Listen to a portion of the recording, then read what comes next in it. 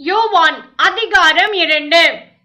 மூன்றாம் நாளிலே கலிலேயாவிலுள்ள கானா ஊரிலே ஒரு கல்யாணம் நடந்தது. இயேசுவின் தாயும் அங்கே இருந்தால் இயேசுவும் அவருடைய சீஷரும் அந்த கல்யாணத்துக்கு அழைக்கப்பட்டிருந்தார்கள். திராட்சரச குறைவு பட்டபோது இயேசுவின் தாய் அவரை நோக்கி அவர்களுக்கு திராட்சரசம் இல்லை என்றாள். அதற்கு இயேசு ஸ்திரீயே எனக்கு உனக்கும் என்ன? என் வேலை இன்னும் வரவில்லை என்றார். அவருடைய தாய் வேலைக்காரரை நோக்கி அவர் உங்களுக்கு என்ன சொல்லுகிறாரோ அதன்படி செய்யுங்கள் என்றாள். யூதர்கள் தங்களை சுத்திகரிக்கும் முறைமையின் படியே ஒவ்வொன்று இரண்டு மூன்று குடம் தண்ணீர் கொள்ளத்தக்க ஆறு கற்சாடிகள் அங்கே வைத்திருந்தது. இயேசு வேலைக்காரரை நோக்கி ஜாடிகளிலே தண்ணீர் நிரப்புங்கள் என்றார். அவர்கள் அவைகளை நிறைய நிரப்பினார்கள். அவர் அவர்களை நோக்கி நீங்கள் இப்பொழுது மொண்டு பந்தி விசாரிப்பு காரனிடத்தில் கொண்டு போங்கள் என்றார். அவர்கள் கொண்டு போனார்கள். அந்த திராட்சரசம் எங்கிருந்து வந்ததென்று தண்ணீரை மொண்ட வேலைக்காரருக்கு தெரிந்ததே அன்றி பந்தி விசாரிப்புக்காரனுக்கு தெரியாததினால் அவன் திராட்சரசமாய் மாறின தண்ணீரை ருசி பார்த்த போது மணவாளனை அழைத்து எந்த மனுஷனும் முன்பு நல்ல திராட்சரசத்தை கொடுத்து ஜனங்கள் திருப்தி அடைந்த பின்பு ருசி குறைந்ததை கொடுப்பான். நீரோ நல்ல ரசத்தை இதுவரைக்கும் வைத்திருந்தீரே என்றான்.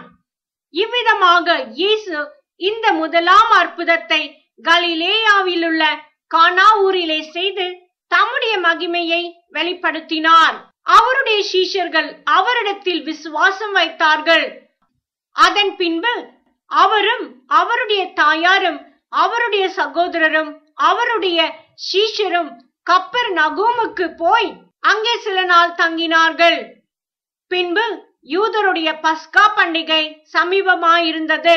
அப்பொழுது இயேசு எருசலேமுக்கு போய் தேவாலயத்திலே ஆடு மாடுகள் புறாக்கள் ஆகிய இவைகளை விற்கிறவர்களையும் காசுக்காரர் உட்கார்ந்திருக்கிறதையும் கண்டு கயிற்றினால் ஒரு சவுக்கை உண்டு பண்ணி அவர்கள் யாவரையும் ஆடு மாடுகளையும் தேவாலயத்துக்கு புறம்பே துரத்திவிட்டு காசுக்காரருடைய காசுகளை கொட்டி பலகைகளை கவிழ்த்து போட்டு புறாவிருக்கிறவர்களை நோக்கி இவைகளை இவ்விடத்திலிருந்து எடுத்துக்கொண்டு போங்கள். என் பிதாவின் வீட்டை வியாபார வீடாக்காதிருங்கள் என்றார்.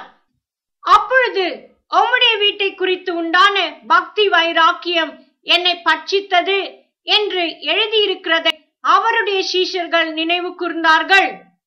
அப்பொழுது யூதர்கள் அவரை நோக்கி நீர் இவைகளை செய்கிறீரே இதற்கு என்ன அடையாளத்தை எங்களுக்கு காண்பிக்கிறீர்? என்று கேட்டார்கள். இயேசு அவர்களுக்கு பிரதியுத்தரமாக இந்த ஆலயத்தை இடித்து போடுங்கள் மூன்று நாளைக்குள்ளே இதை எழுப்புவேன் என்றார்.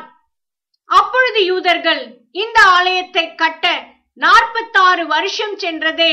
நீர் இதை மூன்று நாளைக்குள்ளே எழுப்புவீரோ என்றார்கள். அவரோ தம்முடைய சரீரமாகிய ஆலயத்தை குறித்து பேசினார்.